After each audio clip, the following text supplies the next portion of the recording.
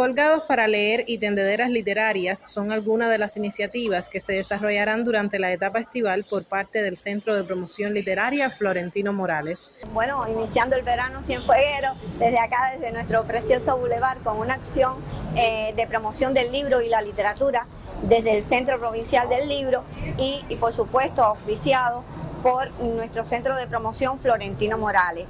Eh, estamos iniciando con el, escritor e ilustrador Miguel Pérez Valdés una acción colgados de papel. En estos colgados eh, son libros que nosotros ponemos a la disposición del público, le damos promoción, los divulgamos de, manera muy interactiva, muy individual, muy personalizada y entonces eh, después la persona selecciona el libro que más le llama la atención y se lo puede llevar a su casa. Es un regalo, una cortesía del centro de, promoción. El Boulevard Cienfueguero, comunidades de la cabecera provincial y cada municipio recibirán el apoyo de varios escritores y promotores durante estos meses.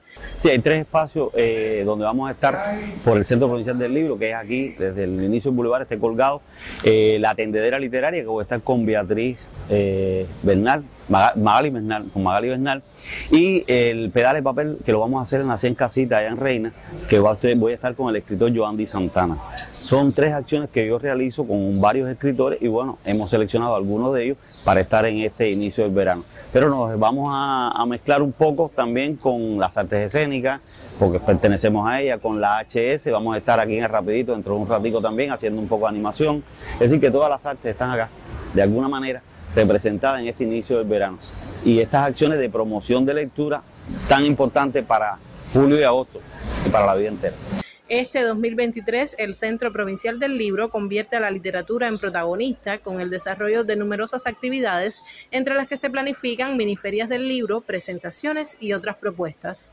Aliana Armas Enríquez, Notisur.